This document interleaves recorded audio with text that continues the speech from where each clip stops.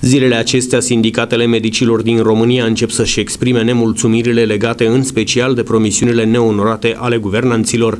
Oamenii în halate albe sunt din ce în ce mai nemulțumiți de salarizare și în special de modul în care sunt plătite gărzile. Din ce în ce problemele se acutizează, Uh, este vorba de salarizarea medicilor, care trebuia de mult uh, mărită, corespunzător, și de asemenea de plata gărzilor și uh, efectuarea programului medicilor, astfel încât să corespundă cu programul de angajare. Fiecare medic în orice spital, ca și structură de program, trebuie să deruleze în fiecare zi 6 ore, 6 ore de activitate, dintre care 5 ore sunt în secție, dacă nu face ambulator, și o oră de contravizită, la care se adaugă încă o oră de zi pe gardă. Medicii susțin că programul lor este foarte încărcat și supra-solicitant din punct de vedere fizic și psihic. Fiecare medic este obligat să desfășoare o activitate în gardă de 20 de ore pe lună, ceea ce intră în salariul obișnuit lunar.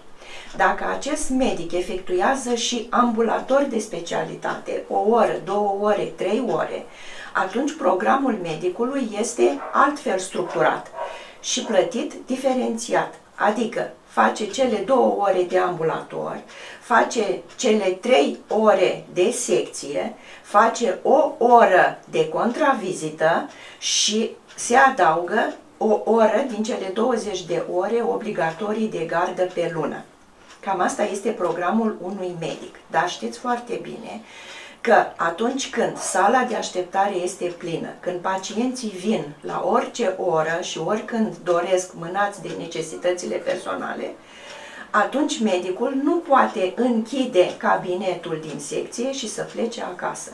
Medicul nu poate pleca de la serviciu până când nu consultă absolut toți pacienții cărora trebuie să le prescrie medicamentul individual specific afecțiunii de care suferă. De multe ori, programul unui medic este mult mărit, nesalarizat, deci pur și simplu stă pentru a rezolva toți pacienții, plecând la 2, la 3, la 4 după amiaza, atunci când sala de Uh, așteptare este liberă. Programul gărzilor este altul și anume, în orice secție de spital, gărzile sunt obligatorii. În ce sens? Pentru a asigura urgența în secția respectivă. Medicul șef de secție, care are un spor de 25% pentru că face această muncă de manageriat al secției, are obligativitatea de a asigura permanența, urgența, permanența în secția respectivă.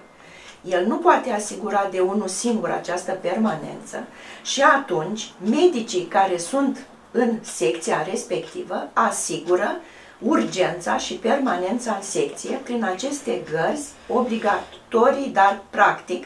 După efectuarea celor 20 de ore de gardă incluse în salarizarea de bază, medicii efectuează și alte gărzi care sunt plătite separat în funcție de numărul de ore efectuat. Aceste gărzi pe care fiecare medic le execută, care variază de la 2, 3, 4, 5 până la 10 pe lună, ele sunt plătite separat dar nu este un contract special cu spitalul pentru uh, fiind considerate în afara orelor de program.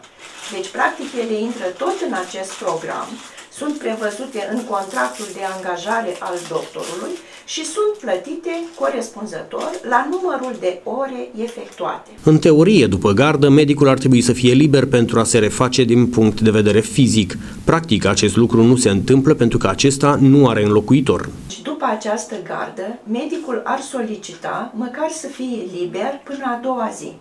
Și atunci, din punct de vedere fiziologic, s-ar reface toată structura nervoasă epuizată pe parcursul acestei gărzi. Acest fapt nu este posibil, pentru că asta ar însemna că a doua zi dimineață secția să fie fără un medic, cu un număr de pacienți care nu pot fi văzuți, ceea ce nu se poate din punct de vedere obiectiv și pentru buna funcționare a unei secții.